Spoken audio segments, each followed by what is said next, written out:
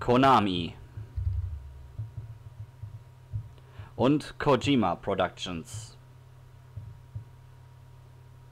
Bluepoint Games.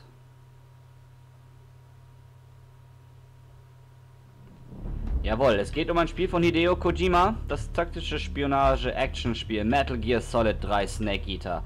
Ihr seht schon, es handelt sich hier um die HD-Edition, liebe Freunde der Zeichenunterhaltung. Herzlich willkommen zu diesem ja, Eröffnungsvideo des Spiels. Ähm, erstmal vorab, ich benutze die HD-Edition, denn es gibt ein Problem. Meine PS2-Fassung des Spiels ist leider nicht mehr brauchbar. Muss man dazu schon sagen, damit ihr eben halt auch wisst, warum es so kommt. Ja. Ähm, jetzt erstmal die Frage natürlich, warum beginne ich mit Metal Gear Solid 3 in der Metal Gear Reihe? Ich gehe nach, nach der Chronologik der Metal Gear Solid Reihe, also nicht mit Metal Gear 1 und 2 integriert, sondern mit der Metal Gear Solid Reihe. Und diese Metal Gear Solid Reihe beginnt mit Metal Gear Solid 3 im Jahre 64. Dort begann alles. Ja, deswegen beginne ich mit diesem Spiel. Ähm, das ist eins der beiden Videos, was ich heute hochlade.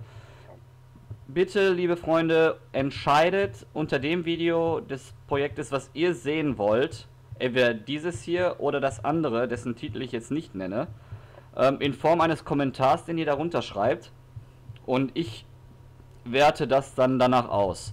Jetzt werde ich aber erstmal vorab etwas sagen zum Thema Darksiders. Einige wundern sich jetzt vielleicht, warum hat er jetzt in seinen letzten Ankündigungsvideos noch nichts zum Thema Darksiders gesagt. Ich möchte euch, euch, eigentlich sofort erklären, das Problem liegt ganz einfach darin, ich hatte keine Zeit für Darksiders irgendwas zu machen, denn ähm, Darksiders soll meine ganze Aufmerksamkeit bekommen, genauso wie es Suikoden 2 verdient, meine komplette Aufmerksamkeit zu bekommen, ähm, ohne immer halt große Einschränkungen. Deswegen werde ich erst eins von den beiden Rollen spielen, was gerade läuft. Ähm, entweder Shadow Hearts from the New World oder Suikoden 2 beenden, bevor ich mit Darksiders anfange. Ich möchte eigentlich keine zwei Rollenspiele nebeneinander laufen haben. Das ist die einzige Begründung. Das gleiche liegt natürlich auch mit Galarians Ash zusammen, wo ich wirklich die vorlesungsfreie Zeit für brauche. Keine Sorge, dieses Projekt kommt auch bald. Aber genug von den anderen Projekten gesprochen.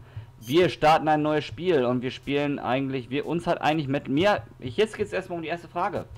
Ja, ähm, was werden wir jetzt nehmen? Also mir hat eigentlich, es geht darum, gefällt mir Metal Gear Solid 1, der zweite Teil, doch vielleicht besser, oder der dritte. Mir muss, ganz, muss ich ganz ehrlich sagen, hat der erste Teil von diesen hier am besten gefallen. Deswegen werden wir sagen, mir gefällt Metal Gear Solid 1. Wir werden auf, ja, normaler Schwierigkeit spielen. Ich weiß, ich werde es bereuen, aber egal. Es ist ja schon lange her.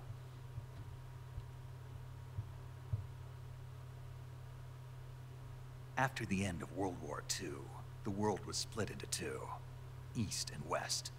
This marked the beginning of the era called the Cold War.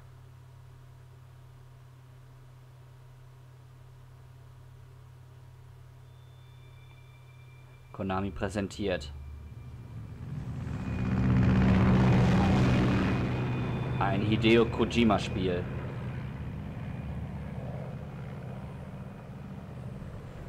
David Hayter als Snake. Susetta Minier, Laurie Allen, Neil Ross, Josh Keaton, ebenfalls mit Synchronsprecherrollen, die ich leider nicht weiß. Jim Ward, Brian Cummings, James Mathis, Heather Halley, und Jim Piddock. Es wird aber noch allerdings, glaube ich, alles eingeleuchtet, wer da kommt. Halb sechs morgens am 24. August 1964 in der Pakistan pakistanischen Luftära. 20 minutes to drop off. Commencing internal depressurization. Equipment check. Arm main parachute. All right. You ready to go? Drop zone still showing a high pressure mass. Cav okay. Good. We've got high visibility.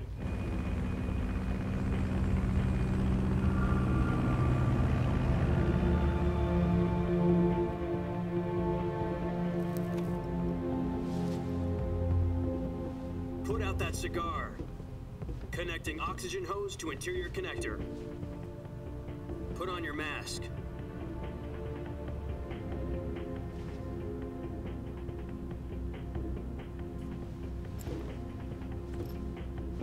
Does this panty waste know what he's doing? Approaching release point. Ten minutes to drop off. Hey, are you deaf? Said put out the cigar and put on your mask.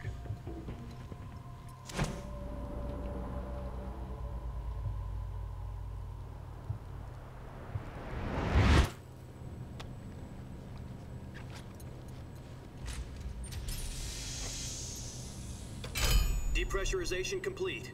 Checking oxygen supply. Six minutes to drop off. Opening rear hatch.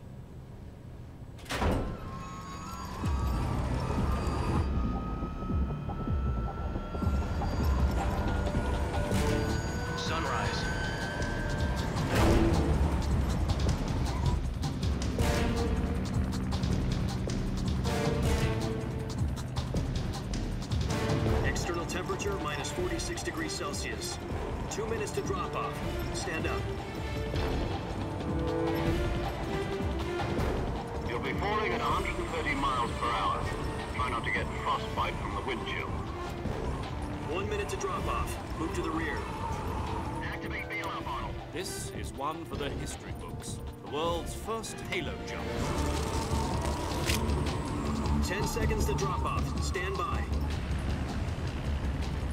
Status okay. All green. Prepare for drop-off.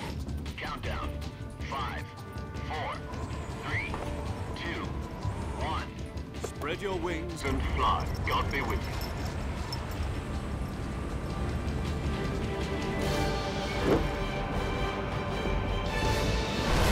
Und los geht's.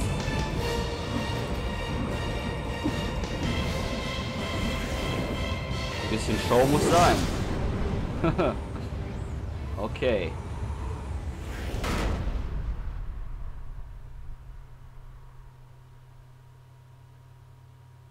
Jack, I've got some important news. The head of the CIA has finally given us the green light for the virtuous mission. Virtual mission? No, the virtuous mission. The future of our Fox unit depends on it. If it succeeds, we'll be officially organized into a unit. Virtuous mission? Sounds like some kind of initiation ritual. You know, don't get cocky. This isn't a training op. Right. So what exactly is this wonderful mission? Well, about two years ago, a certain Soviet scientist requested asylum in the West through one of our moles. His name is Nikolai Stepanovich Sokolov. He's head of the OKB 754 Design Bureau, one of the Soviets' top secret weapon research facilities, and the East's foremost expert on weapons development. Sokolov. Isn't he that famous rocket scientist? The very same. On April the 12th, 1961, the Soviets achieved the first manned spaceflight in history. The Earth was blue, but there was no God. Well spoken. The rocket that carried Yuri Gagarin into orbit was the A-1, known as the Vostok.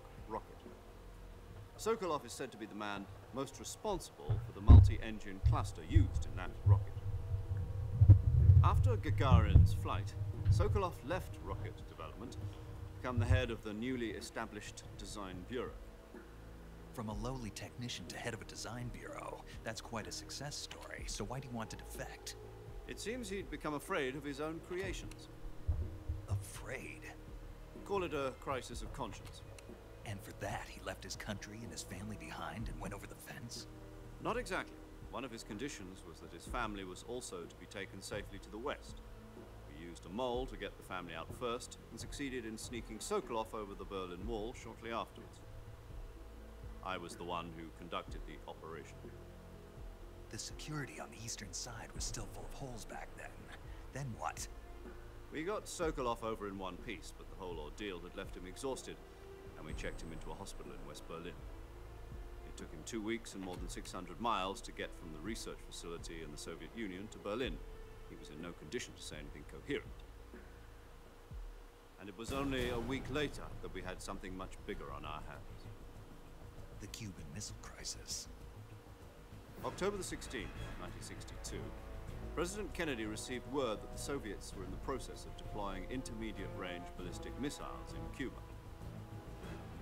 The President demanded that the Soviets dismantle and remove the missiles. At the same time, he announced a naval blockade to prevent further missile shipments from reaching Cuba. But the Soviets didn't back down, instead placing their armed forces on secondary alert. Soviet transport ships carrying missiles continued on course towards Cuba. US and Soviet forces went on alert for an all-out nuclear war. Frantic negotiations were conducted through the UN's Emergency Security Council and unofficial channels to end the hair-trigger standoff. Finally, on October the 28th, the Soviet Union agreed to remove its missiles from Cuba, and so the world avoided a nuclear holocaust. But in order to get the Soviets to pull their missiles out, we had to make a deal. You mean the one where the US agreed to remove its IRBMs from Turkey? No. The Jupiter IRBMs deployed in Turkey were obsolete, and we were going to get rid of them anyway. They had no strategic value whatsoever to either the US or the Russians. The Turkey deal was a ruse, a cover story that was fed to the other intelligence agencies around the world. So what did the Russians really want? Sokolov. They wanted us to return Sokolov. You mean the Soviets pulled out of Cuba just to get their hands on Sokolov? That's right. What the hell was he working on? At the time, we had no idea. We were running out of time. Was either give up Sokolov or risk full-scale nuclear war. In the end, we had no choice. President Kennedy gave in to Khrushchev's demand. The next day, I got Sokolov out of the hospital, handing him over to agents on the eastern side. Sokolov kept on screaming, save me, until he disappeared from my sight. Then, a month ago, we received some new information from one of our moles. About Sokolov? Yes. He was taken back to the research facility and forced to continue working on the weapon in question under KGB supervision. What's more, it's on the verge of completion. So what kind of weapon is it? Something to do with space rockets? No, missiles. Same technology. I guess you're right. We don't know the details, but it appears to be a new kind of nuclear device. For half a year now, the Soviets have been conducting frequent nuclear tests at Semipalatinsk. Something to do with the weapon, I assume. We're talking about a secret weapon so big that Khrushchev was ready to pull out of Cuba to get it back. Is Sokolov still in the facility? No, according to our intelligence, he's in Tselinoyarsk, a place in the mountains about three miles to the west that's known as the Virgin Cliffs. Hmm, the Virgin Cliffs. Nice name for a virtuous mission. They moved him there just recently. Why? Apparently, they're conducting a field test of the weapon, but it's our best chance to get him back. This mission would never have been possible if he was still in the research facility. This is our last chance. Sokolov must have known that too when he contacted us.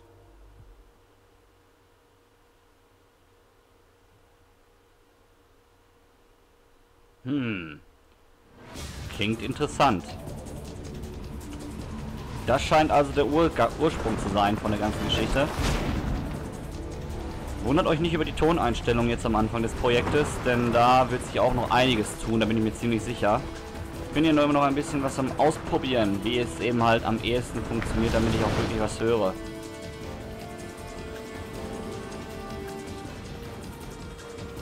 So, wir fliegen hier fleißig durch die Luft. Und mit R1 Your mission is to infiltrate Selino Yask in the Soviet mountains, ensure the safety of Sokolov, and bring him back to the west. Können wir mal hier so durchschauen, durch die Perspektive. Das wird manchmal von Bedeutung sein.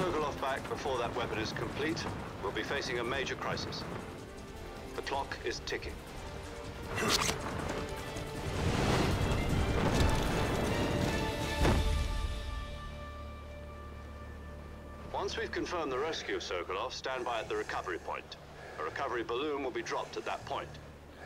Helium will be pumped into the balloon to inflate it. The process takes about 20 minutes. Once it's complete, the gunship's arm will latch onto the balloon and pull it up. The Fulton surface-to-air recovery system. I'm familiar with the theory. Take it easy. It's been combat proven. Do you think Sokolov is up to it? The shock will be less than during a parachute jump, and the arm can handle up to 500 pounds. So you're planning on going over the border in a single Combat Talon? She's equipped with two 6-barrel 20mm Vulcan cannons, as well as two 40mm machine guns. Sounds like she could hold her own against a battalion of tanks. Even with the fuel in the reserve tank, we're facing a four-hour time limit. If all goes well, it shouldn't take more than a few hours. Home in time for dinner. But if anything goes wrong, You'll be eating dinner, breakfast, and all the rest of your meals in the jungle.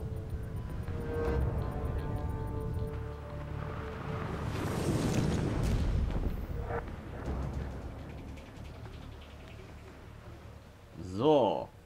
Interessant, interessant, was wir da alles so kennengelernt haben. Ich bin mal gespannt, wie viel wir davon anwenden müssen. Beziehungsweise, was davon alles zu sehen sein wird. Oh oh. Das sieht nicht gut aus durch so einen Busch. Oh nö. Ja, toll. So gut hingekriegt, Junge. Na, immerhin stylisch gelandet.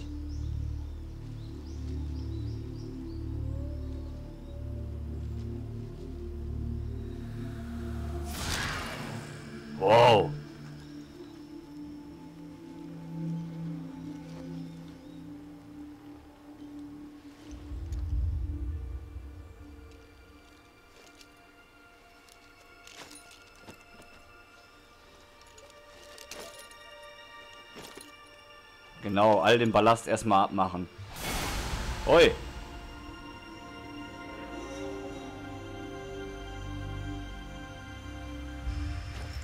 Snake, gesprochen von David Hayter. Ein Meisterstück, was David da gemacht hat, muss man ganz ehrlich sagen. Tja.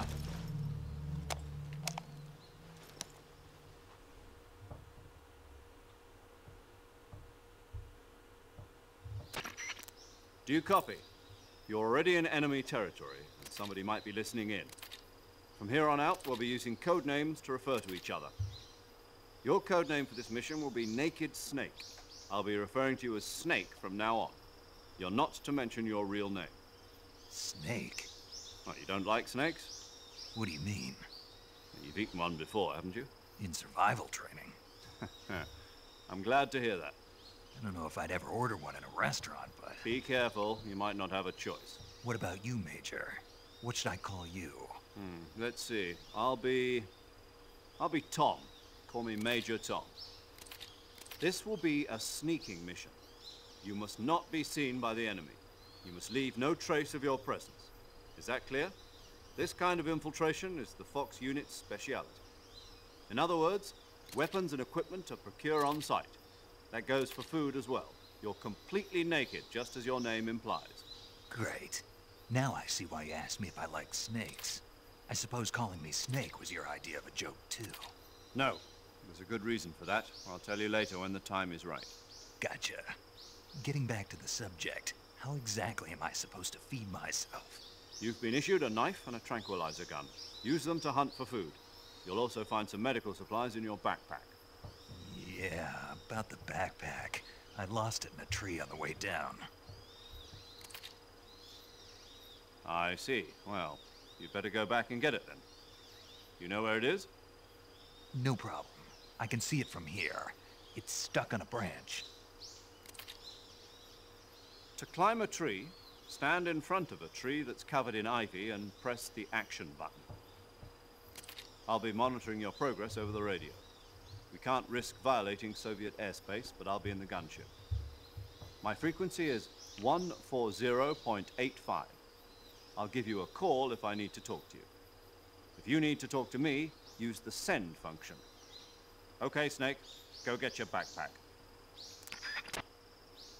Okay, ich glaube jetzt langsam geht's endlich mal los. Ja, ihr habt schon gemerkt, sehr viel Vorgeplänkel.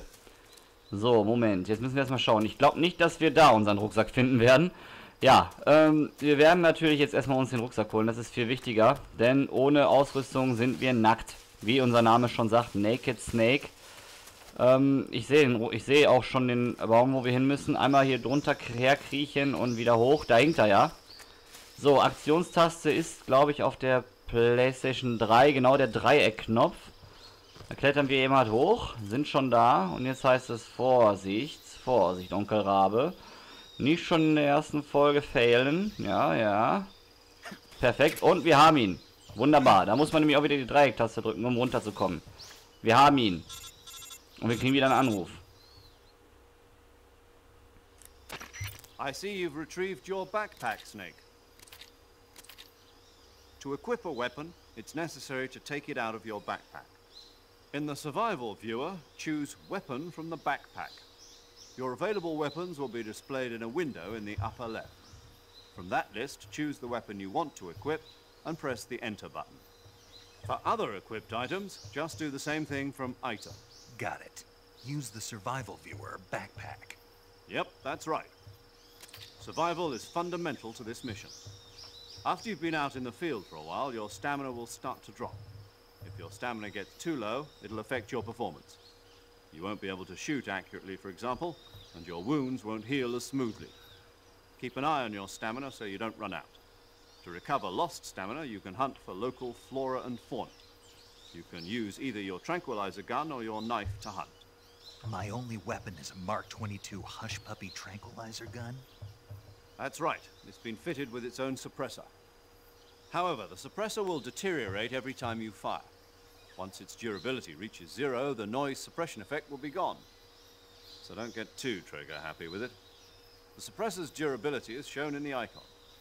Any weapons and equipment beyond what you're carrying now, you'll have to find as you go. I have to find my own weapons and equipment? Whose crazy idea was this anyway? Solo covert actions are standard Fox operating procedure. You can't leave any traces of your presence. No weapons, equipment, footprints, sweat, or bodily waste. The same goes for bullets and cartridges, too. Your presence in enemy territory is already a violation of international conventions of warfare. There aren't supposed to be any American soldiers in Russia. It could spark an international incident. You can't let anyone see you. You can't let the enemy know you're there, this is a stealth mission. You're a ghost, Snake, in every sense of the word. And there'll be no rescue if you're captured.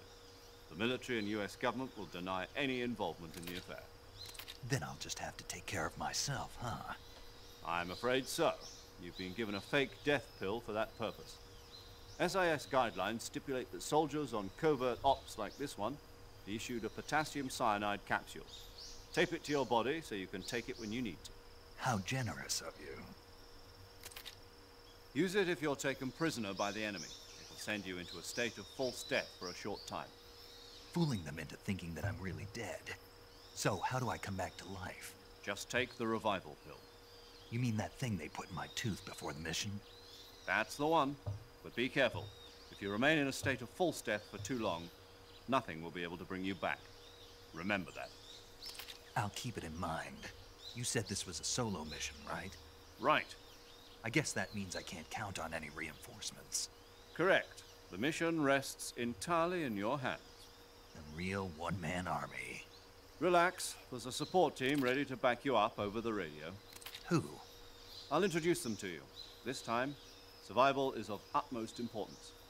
The first member of the support team will be in charge of monitoring your physical condition, acting as a medic, so to speak, as well as recording your mission data. She's a member of Fox as well, and she's here on the gunship with me. She. Hello, Snake. I'm paramedic. Nice to meet you. Oh, Paramedic. As in a Mäuschen. medic who comes in by parachute. Aren't you going to tell me your real name? Are you going to tell me yours, Mr. Snake? My name, huh? It's John Doe. And they call you Jack for short. You're a regular Captain Nemo. A name means nothing on the battlefield. After a week, no one has a name. What's your name? Jane Doe. Very funny. I wasn't joking, but I'll tell you my name only if you manage to make it back alive. My frequency is 145.73. She's also in charge of recording your mission data. Whenever you want to save, send a message over the reserved save frequency, 140.96. So saving lets me record my mission data. That's right. It also records the state of your health. Good to know. There's one more person I want to introduce you to, Snake. Huh? Speaking of snakes, you remember the boss, don't you? A legendary soldier and your mentor. Actually, it was the boss that got the DCI's authorization in the first place. She's going to be serving as Fox's mission advisor. The boss is? She also helped me plan this mission. She and I were at SAS together. Jack, is that you? How many years has it been? Boss? That's right. It's me. Oh. Talk to me. Let me hear your voice. It's been five years, 72 days, and 18 hours. You've lost weight. You can tell just by the sound of my voice. Of course I can. I know all about you. Really? Well, I don't know anything about you. What's that supposed to mean? Why'd you disappear on me all of a sudden? I was on a top secret mission. You didn't need me anymore. But there were still so many things I wanted you to teach me. No, I taught you everything you needed to know about fighting techniques. I taught you all I could. The rest you needed to learn on your own. Techniques, sure. But what about how to think like a soldier? How to think like a soldier? I can't teach you that. A soldier needs to be strong in spirit, body, and technique. And the only thing you can learn from someone else is technique. In fact, technique doesn't even matter. What's most important is spirit. Spirit and body are like two sides of a single coin. They're the same thing. I can't teach you how to think. You'll just have to figure it out for yourself. Listen to me, Jack. Just because soldiers are on the same side right now doesn't mean they always will be. Having personal feelings about your comrades is one of the worst sins you can commit. Politics determine who you face on the battlefield. And politics are a living thing. They change along with the times. Yesterday's good might be tomorrow's evil. Is that why you abandoned me? No, it had nothing to do with you. I already told you, Jack. I was on a top secret mission. A soldier has to follow whatever orders he's given. It's not his place to question why. But you're looking for a reason to fight. You're a natural born fighter, but you're not quite a soldier. A soldier is a political tool, nothing more. That's doubly true if he's a career soldier. Right and wrong have no place in his mission. He has no enemies and no friends. Only the mission. You follow the orders you're given. That's what being a soldier is. I do whatever I have to to get the job done. I don't think about politics. That's not the same thing. Sooner or later, your conscience is going to bother you. In the end, you have to choose whether you're going to live as a soldier or just another man with a gun. There's a saying in the Orient loyalty to the end. Do you know what it means? Being patriotic. It means devoting yourself to your country. I follow the president and the top brass. I'm ready to die for them if necessary. The president and the top brass won't be there forever. Once their terms are up, others will take their place. I follow the will of the leader, no matter who's in charge. People aren't the ones who dictate the missions. Then who does? The times. People's values change over time, and so do the leaders of a country. So there's no such thing as an enemy in absolute terms. The enemies we fight are only enemies in relative terms, constantly changing with the times. As long as we have loyalty to the end, there's no point in believing in anything, even in those we love. And that's the way a soldier's supposed to think? The only thing we can believe in with absolute certainty is the mission, Jack. All right, but do me a favor. What is it? Call me Snake. Snake. Oh, right. Your code name is Snake. It suits you well. That's right. The legendary unit that the boss put together during World War II was a snake. The Cobra unit. A group of heroes that brought the war to an end and saved the world. As long as you've got a legendary hero backing you up, you'll be fine. Isn't that right, Snake? Yeah. I can't think of anyone else I'd rather have with me. Oh, and one more thing, boss. Yes? It's good to hear your voice again. Same here. After all, who knows if either of us will make it out alive? Snake, you are always best at urban warfare and infiltrating buildings. But this is the jungle. Survival is going to be key. Those CQC techniques I taught you are sure to come in handy. CQC?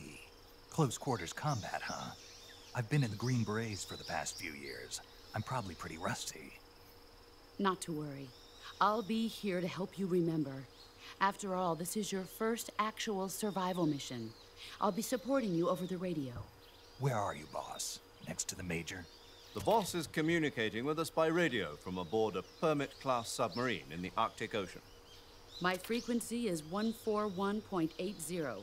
Call me if you need my advice on battle techniques. Gotcha. Your mission is to retrieve Dr. Sokolov. Dr. Sokolov is being held in an abandoned factory located to the north of your current position. Avoid heavy combat and don't let anyone see you. Don't forget that this is a stealth mission.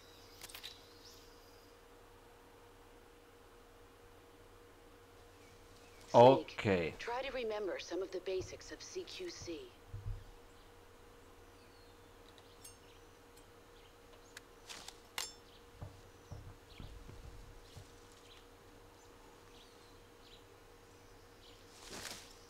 Commencing virtuous mission now.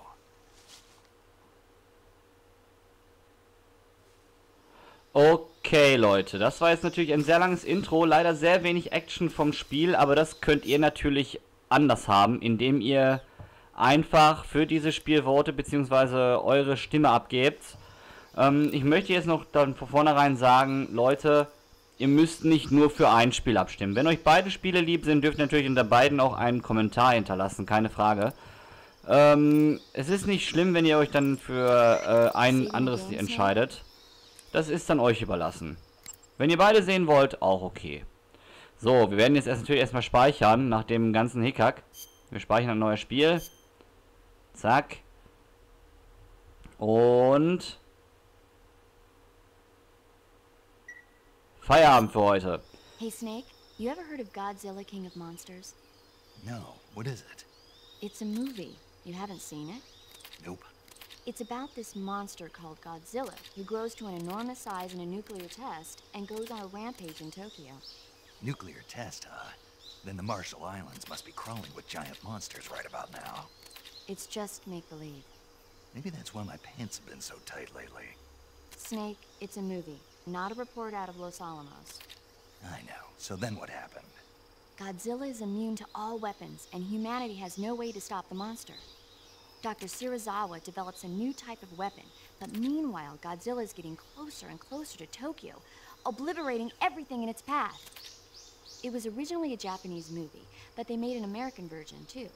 I recommend seeing the original Japanese one if you ever get the chance. It's mostly mindless fun, but it's also got a serious anti-nuke message as well. Where can I see the original? You'll just have to go to Japan. Really? That's too bad.